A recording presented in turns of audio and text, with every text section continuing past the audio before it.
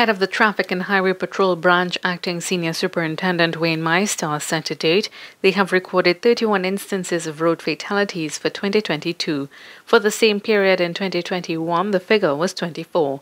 He said there is a 29% increase in road fatalities. The Traffic and Highway Patrol Branch will be working assiduously um, within um, 2022 to ensure that that figure goes down dramatically and we will have a lot of um, activities taking place that will ensure that these um, fatalities go down. And again, we working together with our stakeholders to ensure that there's um, proper roadway safety. Road Safety Coordinator Sergeant Brent Batson said the TTPS has noticed a pattern by drivers, especially on the highways. At 100 kilometers an hour, you know, you're looking at at least five callings you're supposed to be, but persons are still following the other vehicles too close. So when something happens, nobody has time to react.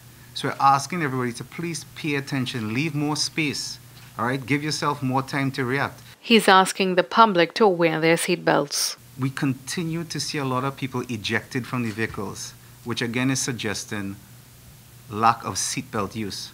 Now, what is interesting, because of the digital U-turn ticketing system, lack of seatbelt use is still the number one most ticketed behavior on the roadways. And I, thought we were past that because everybody realizes how important it is to wear seatbelts.